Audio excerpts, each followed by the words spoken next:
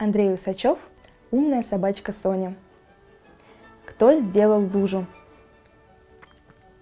Когда маленькая собачка Соня еще не была умной собачкой Соней, а была маленьким умным щенком, она часто писала в коридоре.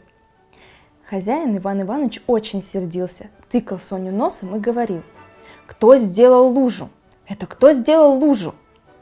Воспитанные собаки, добавлял он при этом, должны терпеть и не делать луж в квартире. Собачке Соне это, конечно, ужасно не нравилось. И вместо того, чтобы терпеть, она старалась незаметно делать это дело на ковре, потому что на ковре луж не остается. Но однажды они вышли гулять на улицу. И маленькая Соня увидела перед подъездом огромную лужу. «Кто сделал такую огромную лужу?» – удивилась Соня.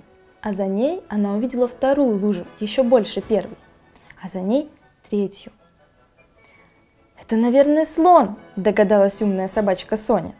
«Сколько же он терпел!» – подумала она с уважением. И с тех пор перестала писать в квартире.